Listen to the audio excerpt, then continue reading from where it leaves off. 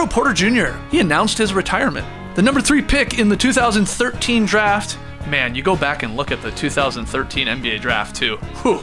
Obviously, Giannis goes 15th. I mean, he's the gem in that draft. But number one, Anthony Bennett. Yeah, baby. Number two, Victor Oladipo. Three, Otto Porter Jr. Four, Cody Zeller. Five, Alex Len. Six, Nerlens Noel. Seven, Ben McLemore. Eight, Kentavious Caldwell Pope. Nine, Trey Burke. And 10, CJ McCollum. I guess you could say the best player from the top 10? What a weird draft.